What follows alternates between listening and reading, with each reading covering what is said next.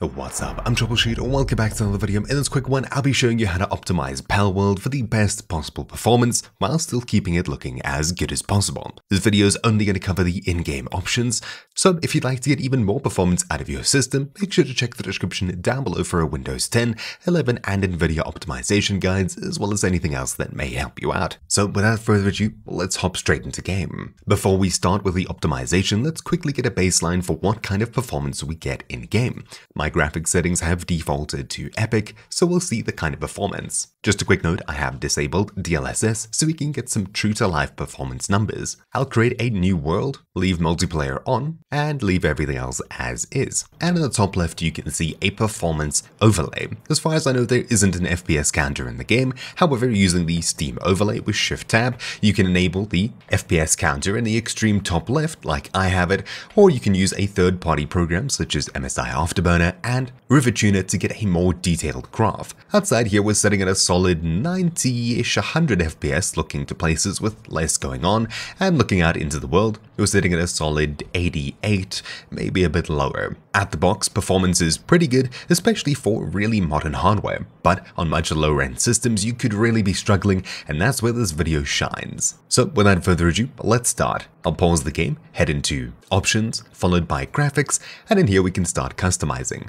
Presets you can leave set to whatever you want really, as we'll be customizing it further down below. Screen mode should definitely be set to full screen, and it should match your display's resolution here as well.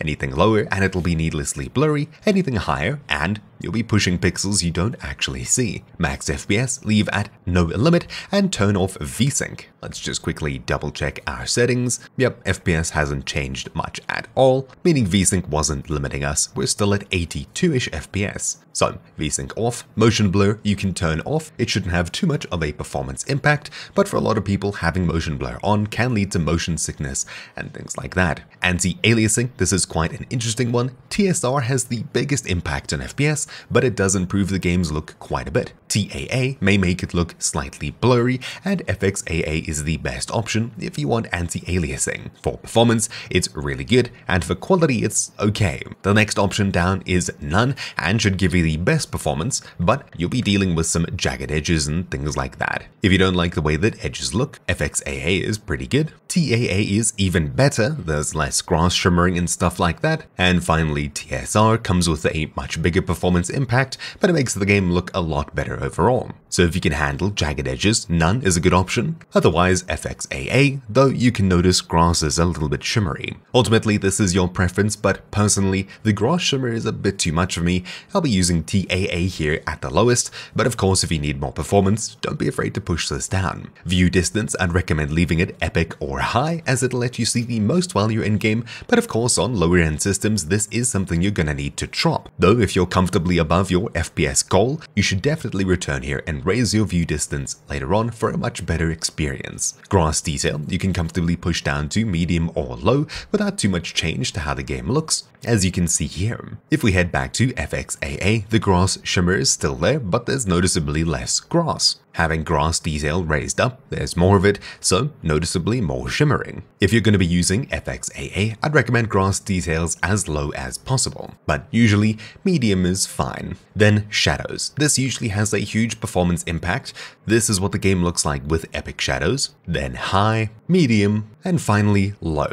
Low seems to turn off shadows mostly, if not entirely, and we've moved up to around 110 FPS. If we have it set to medium, a lot of shadows return and we drop about 10 FPS down to 100. Cranking it from medium all the way up to epic, we lose 20 FPS, so it seems to be about a 10% performance impact for each step you go up. Therefore, I'd recommend having this as low as possible. If you're really struggling for FPS, medium is probably the lowest you'll want to go without removing shadows entirely. Then, effect quality. Throughout normal gameplay, this won't have too much of an effect, but pay attention to the particles and smoke in the background. Sitting at 97, we'll drop effects to low, and not much has changed at all really. We've gone from 97 to 107, so we've gained 10 FPS, and things still look pretty good. The only place you'll really notice this usually is combat and things like that, as well as maybe a few other specific areas. Most of the time you can have this option much lower for a relatively good performance impact. So medium is a pretty good place to leave this, especially if you're dropping FPS combat. Then texture quality. This totally depends on how much VRAM your graphics card has.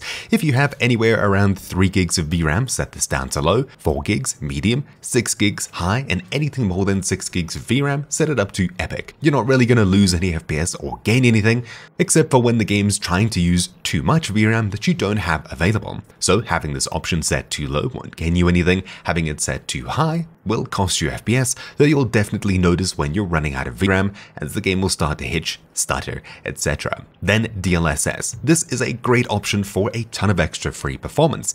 As it is an AI upscaler, you may notice a degradation in quality in some areas, but improvements in others. For example, we're setting at 104. If we set DLSS to performance, you'll notice a big improvement in numbers. We're setting at 120 FPS, though everything is super blurry. This isn't good at all. However, pushing it all the way to the right to quality, things are noticeably less blurry and more true to native, though we definitely are losing a bit of quality. That being said, we're setting at a solid 120 FPS, so we've actually moved up quite a bit in terms of performance. I think it may be maxed out at 120. There may be some kind of hard limit, something to do with my monitor, etc. But usually the more to the performance side you push DLSS, the better the performance you'll get, though you'll notice more weird visual artifacts, blur, and things like that too. Just a quick note, you won't actually have the DLSS option here unless you own the game on Steam, as the Xbox Game Pass version doesn't have this built in, as far as I understand. If you don't have DLSS available, the other performance options here should be more than enough to help you anyways. Also, when you enable DLSS,